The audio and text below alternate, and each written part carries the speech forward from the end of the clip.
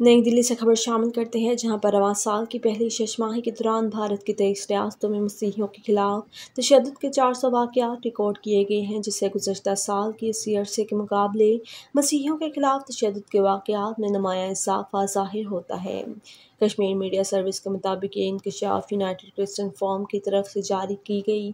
एक रिपोर्ट में किया गया है, मुस्लिम मिरर के रिपोर्ट के मुताबिक 2022 की पहली शशमाही के दौरान भारत में मसीहियों के खिलाफ तशद के दो सौ चौहत्तर वाक़ात रिपोर्ट हुए थे। यूनाइटेड क्रिश्चन फॉर्म की रिपोर्ट में भारत में मसीही बरदरी को दरपेश बढ़ते हुए जुल्म तशद के वाक़ात को उजागर किया गया।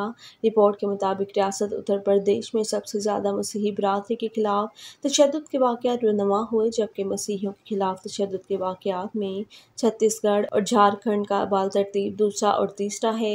रिपोर्ट से वाजह होता है कि इसी अरसे के दौरान उत्तर प्रदेश में मसीही बरदरी के खिलाफ तशद के एक सौ पचपन वाक़ात पेश आए। यू सी एफ़ की रिपोर्ट में कानून नाफिज करने वाले इदारों की तरफ़ से मसीहियों के साथ रवा रखे जाने वाले सलूक पर भी तशवीश का इजहार किया गया। मजालिम का शिकार होने के बावजूद मसीही अफराद को अक्सर मुलजमान के खिलाफ मुकदमा के अंदाज में शदीद मुश्किल का सामना करना पड़ता है।